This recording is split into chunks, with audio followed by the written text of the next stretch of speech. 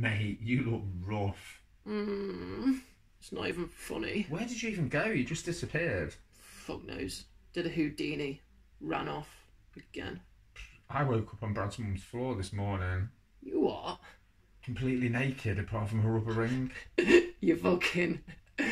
No, you're joking. I'm not. Was Brad even there? I don't know. Rubber ring. A rubber ring, a fucking inflatable rubber ring. And then I was on the shop floor this morning. I'm frozen, and the cam comes up to me asking me why there's no vol-au-vents left. At five past ten, vol-au-vents just wasn't in the mood. Nah, and I felt No.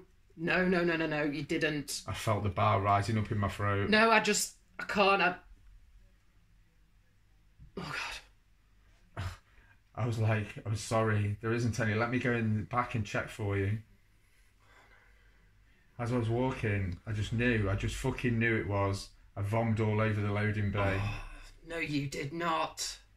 Is that why it's cornered off? Jesus fucking Christ. Did you see his mum this morning? Nah, I woke up before anyone. The front door was locked, so I had to climb out the kitchen window and jump the back wall into the alley. Naked. Nah, nah. I found my clothes. I think they were mine. And then I got an Uber on 1%. Mate, Brad is going to be so pissed when he sees that you slept on his mum's floor again. Well, it's not my fault. I've nowhere really else to go. Have you spoken to them? Nah, there's nothing to speak about. I mean, you're going to have to do something, though. You can't keep showering here and then sleeping in your car. I've not really got a choice, have I? You can, uh... You could come and stay at mine if you want.